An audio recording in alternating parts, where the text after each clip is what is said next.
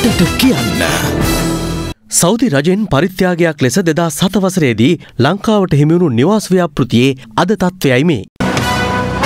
නිවාස ව්‍යාපෘතිය තුළ අන්තර්ගත වෙලා තියෙනවා ක්‍රීඩා පිටියක් පාසල් දෙකක් බස් ස්ටෑන්ඩ් එකක් සුපර් මාකට් එකක් ගෙවල් 500 දෙකක් ඒ වගේ ඔපරේෂන් තීරණයක් එක්ක අංග සම්පූර්ණ රෝහලක් සහ පරිපාලන ගොඩනැගිල්ලක් අද වන විට ජනතාවට එම නිවාස ලබා නොදීම හේතුවෙන් පත්ව ඇති තත්ත්වයයි මේ.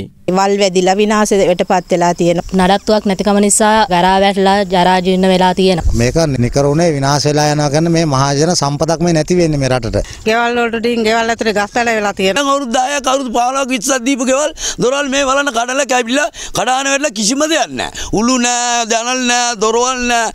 මිනිස්සුන් ඉන්න තැන මම ඉන්නේ කුලියට.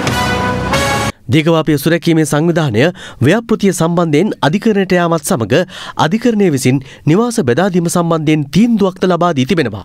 ඉඩම් බෙදාදීම සඳහාම වන අනපනත්ල සඳහන් වගන්ති සැලකිලට ගනිමින් සහ ඒ අනුවම ඒ ක්‍රියාපටිපාටි අනුගමනය කරමින් බෙදාදීමේ කටයුත්ත සිදු කළ යුතු බවටයි ගරු ශේෂ්ඨාධිකරණය විසින් අඩුතීන්දුවේ සඳහන් වෙලා තියෙන්නේ. මේ නඩුතීන්දුව ක්‍රියාත්මක කරන්න යාමේ විරෝධතා ඇති වෙලා තිබෙනවා එක් එක් ජනකොටස් වලින්. ඒ නිසා මේ ප්‍රමාද වෙලා තිබෙනවා.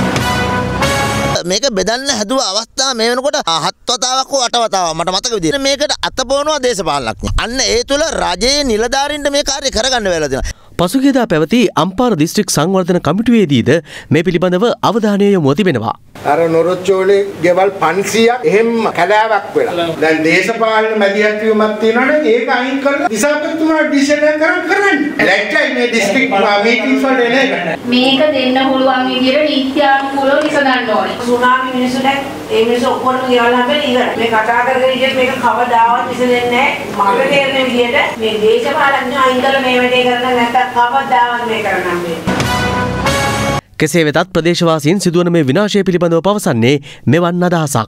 අපට හරිම දුකක් මේක කනගාටුවක්. මොකද මේ ගම්වල ඉන්නවා මොන තරම් ගෙවල් අඩපාඩු අය. සුදුසුකම් ලද ජනතාවට බෙදා දීමට හැකියාවක් නොමැති වීම තුලින් මේක දීපු රටට අපි කරන්නෙත් අපහාසයක්.